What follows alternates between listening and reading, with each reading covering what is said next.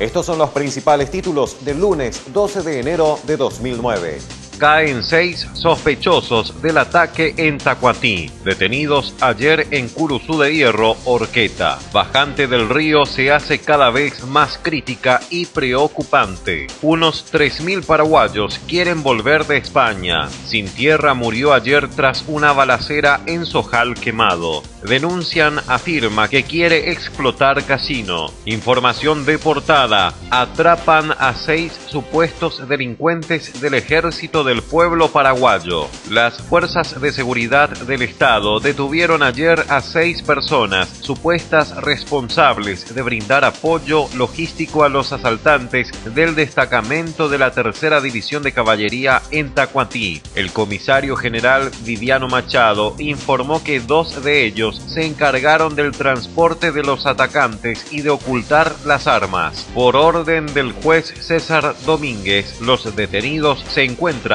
en el destacamento militar en libre comunicación. 3.000 paraguayos en España están desesperados y quieren volver. Embajador Cabello exhorta a compatriotas no ir a la madre patria a buscar trabajo. En la página 18 encontrará el editorial que trae el título Estar atentos para no caer en una nueva dictadura cuyo audio usted puede escuchar visitando la página www.abc.com.py.